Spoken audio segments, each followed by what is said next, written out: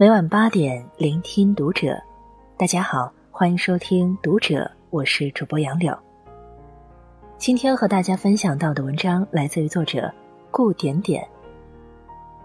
结婚三十年，从夫妻到陌生人，再好的婚姻都逃不过这两个真相。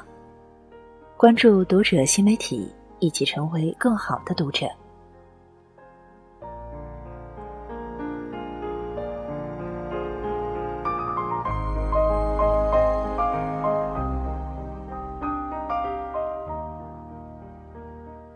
最近有个读者给我留言说，他结婚整整三十年了，孩子都长大了，房子也有了，但是却感觉日子越过越没有意思了。我问他怎么没意思了，他说，现在每天跟老公说的话不超过五句，两个人住在同一个屋檐下，就像是两个陌生人。如果不是那本证，我们最多也就是邻居。刚结婚的时候，两个人无话不说，聊什么都可以聊到一起。后来慢慢的，不知道是从什么时候开始，也许是做了父母以后吧，两个人之间的话题越来越少了。有时候想说点什么，话到嘴边又咽下。夫妻之间最怕的就是遇到这种情况，话越来越少了。交流越来越少了，一开口就是吵架，干脆懒得再开口了。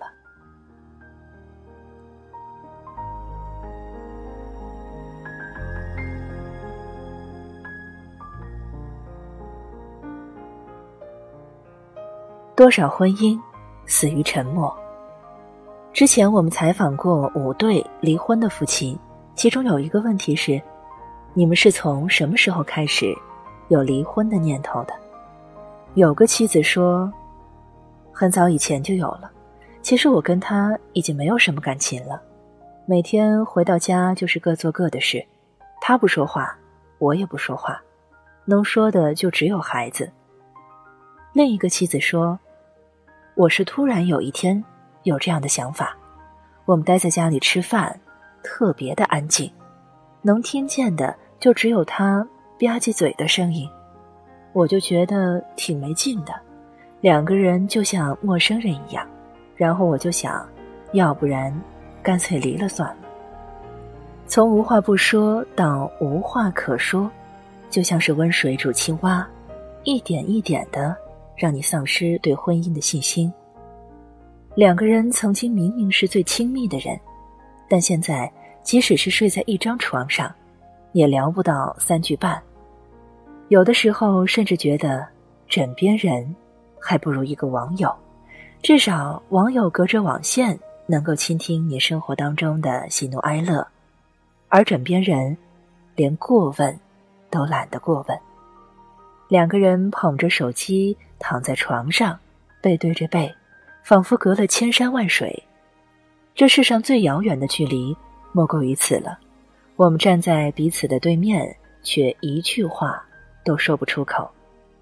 曾经在网上看到一个很有意思的对话：如果我想跟一个人聊天，代表什么？代表你对他有好感。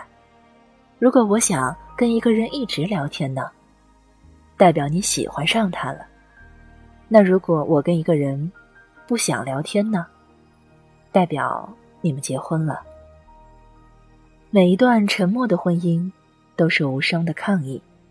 当你说的越少，你的心里想的就越多。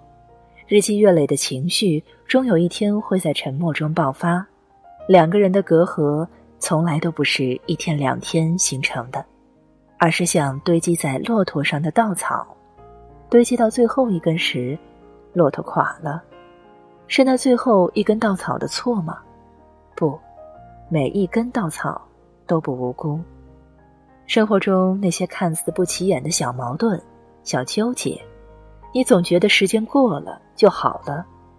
但是，当你们下次再说起时，你会发现，当时没有解开的结，是不会凭空消失的，而是会一直压在你的心底。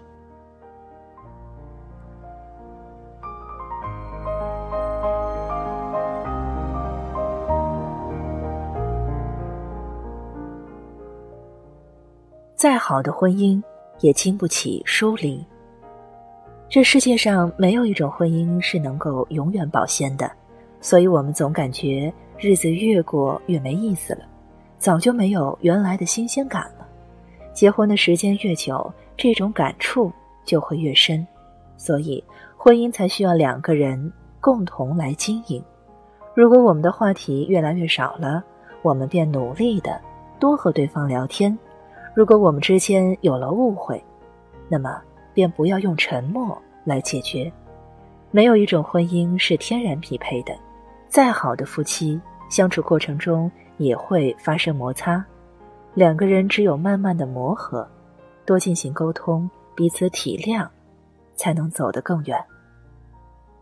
Papi 酱在节目中说到他的婚姻相处之道时，就提到了一点：无论我俩工作多忙，我们睡前肯定会有半个小时的时间。纯聊天，比如说今天你在工作中遇到了什么，家里的两只猫今天又做了什么蠢事，这看起来是件很平常的事，但其实却是他们在用心的经营着自己的婚姻。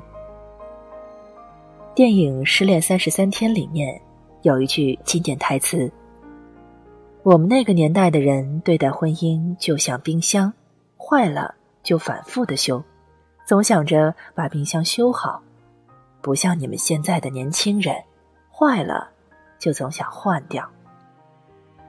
家家有本难念的经，每个人的婚姻都有着自己的难处。就算是再贵的冰箱，用的时间久了，也难免出现问题。当出现问题的时候，我们不是要去逃避，不是要去拖延，而是要尽快的解决它。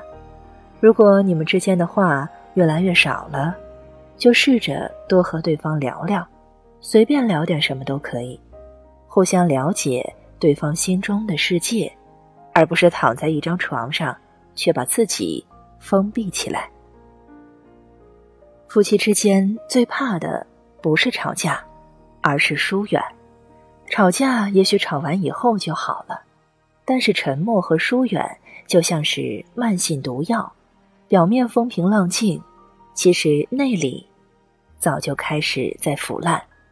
吵了一辈子的架，也可能吵不散，但沉默却最容易让夫妻离了心。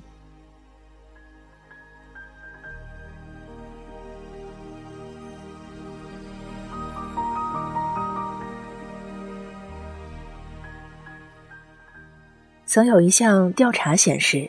四分之一的夫妻每天交谈时间不足十分钟，越来越多的夫妻仿佛都患上了沉默失语症。我们不会离婚，但也不会说话了。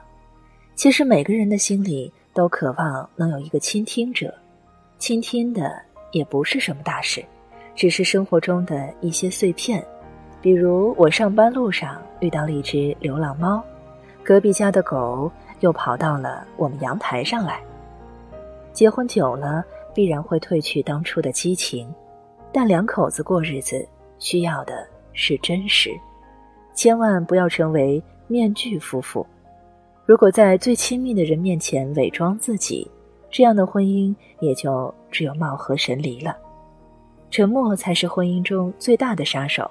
如果可以，回到家，请和你的另一半聊聊。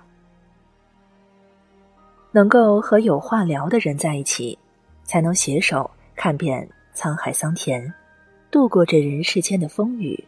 等到老了，再找一个安静优美的小院子，白头到老。